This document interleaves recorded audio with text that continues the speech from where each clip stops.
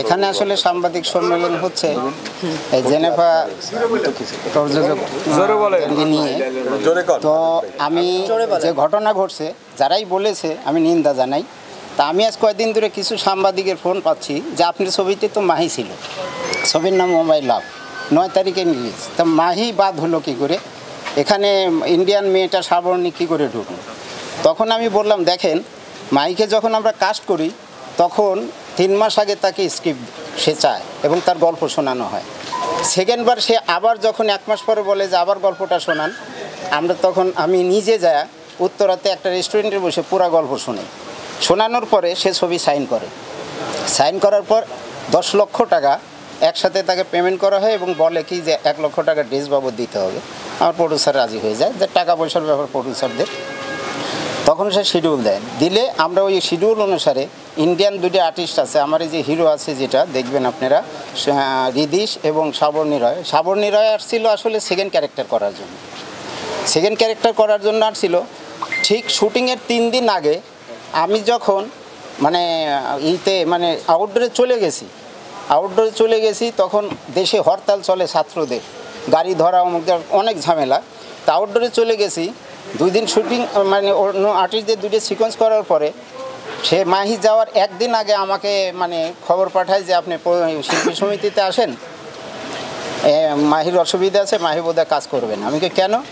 তখন আমি টুঙ্গি মোবাইল থেকে খুব কষ্ট করে টুঙ্গিতে আসি। টুঙ্গির থেকে হাইটে আমি বনানীতে আসি। আসার পরে আমি এখান দিয়ে ভিতর দিয়ে এফডিসিতে যখন আসি তখন আহ, শিল্পী সমিতির ভিতরে সে বসা আছে। বসা আছে যাই হোক। মূলটা বলে হ্যাঁ। মূল কথা হলো যে শিল্পীকে টাকা দিয়ে নেওয়া হয়। সে একদিন আগে আমাকে না করে দিল যে গল্পটা চেঞ্জ করতে হবে এবং ওই সেকেন্ড ক্যারেক্টার যে মেয়েটা তাকে বাদ দিতে হবে। তা আমার জীবনে আমি এত বড় বড় ছবি মানে আর্টিস্ট নিয়ে কাজ করেছি ছবিতে তারা কোনোদিন আমার গল্প শুনতে চায়নি। হ্যাঁ তখন তখন বলা হলো যে আমি ছবি করব না মুখের পর বলে দেওয়া হলো। তা আমি বললাম, ঠিক আছে, তুমি তাহলে টাকা ফেরত দাও। কয়, এটা তো আপনার ব্যাপার না, প্রযোজকের ব্যাপার। তা আমি বললাম, ঠিক আছে, প্রযোজকরা আছে, দুইজন হিমেল সাহেব আছে, আমার জাহাঙ্গীর সিকদার ভাই আছে, তারা তারা আলোচনা করুক। তখন আমি বাইরে গেলাম, তারা আলোচনা করল কি মিটিং করল যে পাঁচ লক্ষ টাকা দিবে আর পাঁচ লক্ষ টাকা নাকি পরে দিবে। তারা বলল যে পরে দিবে। আর ড্রেসের টাকাটা, ড্রেস বাবদ এক লক্ষ টাকা নিয়েছিল যে আমি তো ড্রেস কিনছি।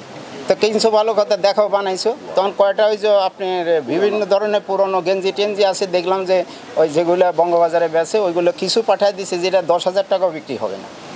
তখন আমি বললাম, সেটা এটা প্রডিউসারের ব্যাপার, এটা আমার ব্যাপার না। টাকা পয়সার ব্যাপার, তার ব্যাপার, আমার ব্যাপার না। কীভাবে তারা মীমাংসা করছে, তাও তাদের ব্যাপার। এখন আমার কথা হলো আমি শুটিংয়ে আউটডোরে তিন দিন বসে রইলাম। আমার এই যে প্রডিউসারের ক্ষতিটা করল, আমার ক্ষতিটা করল। এই একদিন আগে আমাকে না করে দেওয়াটা তার জন্য কি ভালো হলো সে একজন ভালো শিল্পী দিয়েই তো আমি নিয়েছিলাম ভালো মনে করে যে ছবির শিল্পীতে আমার হ্যাঁ।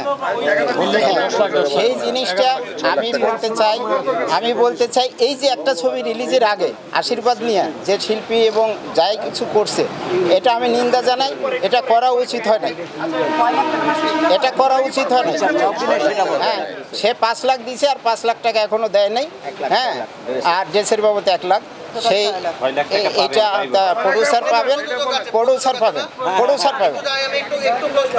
এই ঘটনাটা তো আপনার ওমাইলাভ যখন সাবর্ণী বাংলাদেশে শুটিং করে তখনকার কথা। আই থিঙ্ক এটা চার বছর আগে। চার থেকে পাঁচ বছর? না না না না না তিন বছর তিন বছর। তিন বছর আগের কথাই সেই সিনেমার তখন কমিটি ছিল শিল্পী সমিতির জাহেদ খান মিশা ভাই তাদের সামনে আপনাদের নাকি সমঝোতা হইল যে আপনারা ফিফটি পার্সেন্ট নেবেন বাকি ফিফটি পার্সেন্ট নেবেন না। আপনি বলছেন যে প্রযোজক বলছেন যে তারা পরবর্তীতে নেবেন। আসলে সত্য কোনটা? না আপনি কীভাবে বলেন যে উনি এখন বললে কি এটা হয়। আপনি একজনকে দশটা টাকা দিলেন উনি কাজ করল না আসলো না কিন্তু উনি আমাকে টাকা কম দিবে। এটা কীভাবে মানা যায়? এটা পুরো মিথ্যা কথা। এবং সেই সময় মুই- এই মিশাবাই ছিল না শুধু জাহিদ ভাই ছিল। আপনার- আপনি যদি মাইনা নিয়েই থাকেন। না না না। না না না না অস্বীকার করল তো। মাইনা নিলে আজকে আবার এখানে বলি কেন? কেন? না, তাহলে তাহলে আপনি সেই সময় আমি সে ছবি রিলিজ নিয়ে আমি তখন আমার ছবিকে সে ডিস্টার্ব করবে। জানেন সে সময় সে সময় যে ছিল তার প্রশাসনিক অনেকেই ছিল। আমার ছবি ডিস্টার্ব হবে ক্ষমতা ছিল। এই কারণে আমি তখন কিছু বলি নাই। আমার ছবি এখন সেন্সার হয়েছে আমি এখন এই ঘটনা দেখে আমি এখন আমার মুখ খুলছি। আপনার তো এই ছবিতে বহুত কমপ্লেন এক হ্যাঁ। নিয়ে করলেন। হ্যাঁ। দুদিন আগে নিউজ দেখলাম আপনার এই ছবিতে অমৃতাকে খুঁজে পাচ্ছেন না। মানে আপনার এই ছবিতে কমপ্লেন দিলে অভাব নাই? না অমৃতা থাকতেই পারে, এটা তো পাচ্ছি না চলতে প্রফেশনালের জন্য মানে ভাই। না না প্রমোশন প্রমোশন করার জন্য তাকে আচ্ছা এই হ্যাঁ। আমি প্রযোজকের সাথে আচ্ছা এখন এখন এটা বাদ দে, বাদ দে। ওনার বক্তব্যটা কি?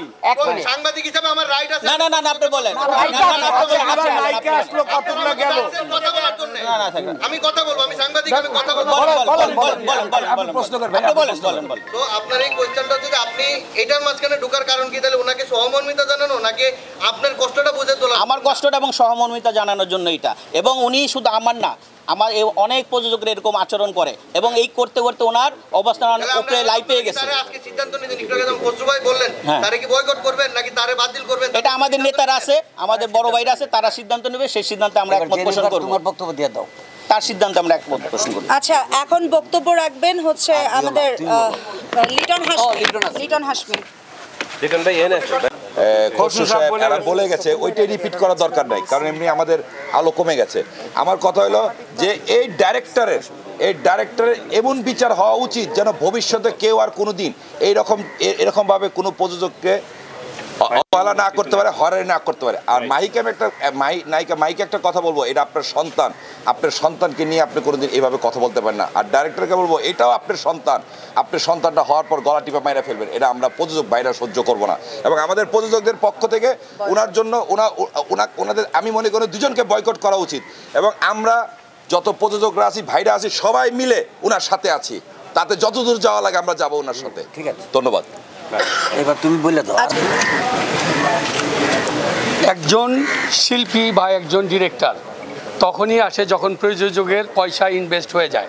সে পয়সা অনুদান থেকে আনলো না কোত্থেকে আনলো সেটা কিন্তু শিল্পী বা ডিরেক্টরের জানার প্রয়োজন নেই আমি মনে করি।